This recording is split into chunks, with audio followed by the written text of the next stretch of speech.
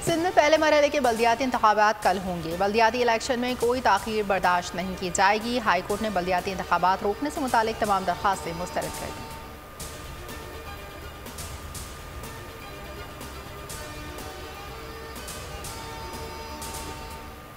वज़ीर अजम शहबाज शरीफ आज कराची का एक रोज़ा दौरा करेंगे। पाक भैरिया की पासिंग आउट परेड में बतौर मेहमान खसूसी शरीक होंगे।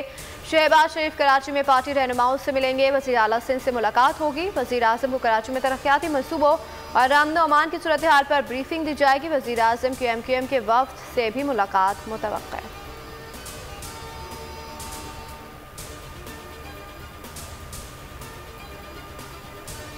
कराची में सहाफ़ी और social media activist Aamir Arsalan के लापता होने का मामला। रेंजर्स के मुताबिक आमिर अरसलान को तफ्तीश में ताउन की तंबी करके रिहा कर दिया गया। आमिर अरसलान को दहशतगर्द ग्रुप के साथ रबते पर गिरफ़्तार किया था।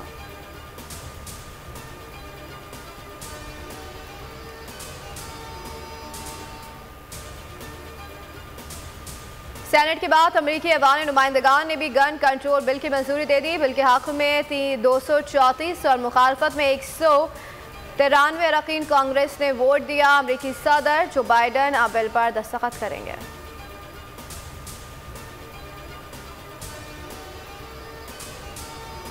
इन पाकिस्तान की मैशियत आपको पता खतरे में और आपने कब तक रखा हुआ है चाय के वाले से। मिनिस्टर जी कह रहे हैं नहीं पानी है यार गर्म पानी है। चले फिर मैं सबसे चाय का मग लगा।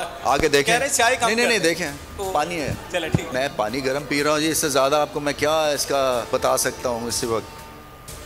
और चाय नहीं, गर्म पानी पी रहा हूँ। सहाफ़ी और रमीज राजा में दिलचस्प मुकालमा। सहाफ़ी ने सवाल पूछा कि आप चाय कम पीने की मुहिम पर अमल नहीं किया? चेयरमैन पीसीबी ने जवाब दिया, कप में चाय नहीं, पानी है।